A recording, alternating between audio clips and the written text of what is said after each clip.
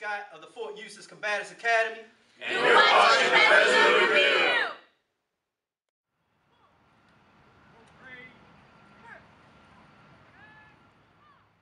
We all know that like a commander, the sergeant major of a unit can make an indelible impact.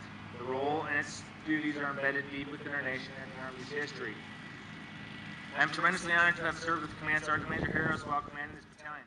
Despite the deployment, the task organization, fluidity, Command Sergeant Major Harris' ability to manage, direct, assess, organize, and motivate far exceeded that of his peers. Command Sergeant Major Harris, I want to truly thank you for your loyalty, guidance, dedication, and most importantly, friendship. I am humbled and proud to say that our work relationship was as good as I've experienced during my career. I'll never forget the long hours, laughs, office cleanings, hockey counselings. Best of luck and God bless you and Carmen and family as you venture off to Shaw Air Force Base, South Carolina to take STB in ARCENT. So first and foremost, I thank God for many blessings bestowed on us all. An organization staffed in excess of a thousand soldiers demands continuous commitment and attention.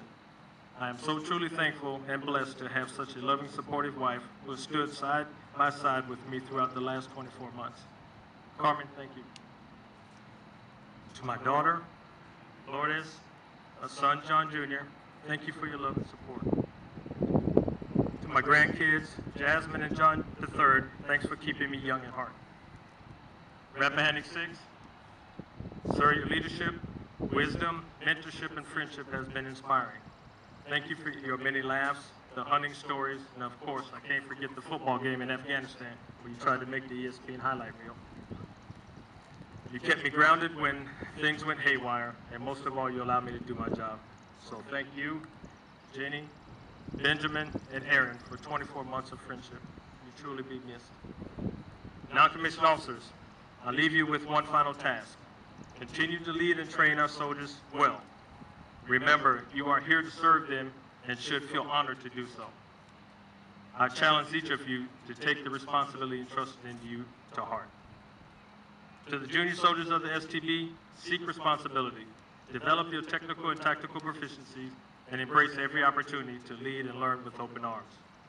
Sergeant Major Odom, this organization is a beast.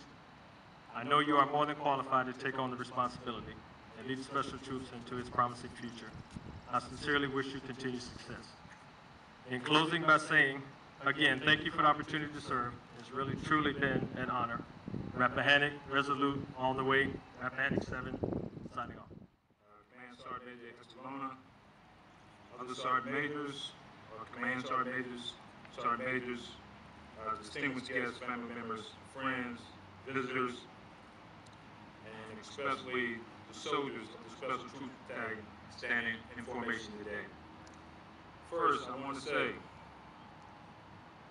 thank you for taking the time out of your busy schedule to come and attend this ceremony today. It is truly an honor and a privilege to stand here today as the newly, as the newly Command Sergeant Major of the Special Troops Battalion. I'm elated by the opportunity and the challenge to become a valued member of the team. He's a great sergeant major. I was uh, very fortunate to have uh, a good battle buddy like him. Uh, went through a lot of history and, uh, with downrange and all the inactivations and all the change with the task organization. But he was he was a great man for the job, and uh, truly appreciate it. Uh, I'm, I'm a uh, NCO that, that, that's hard on standards, and it's not my standards, the Army standards.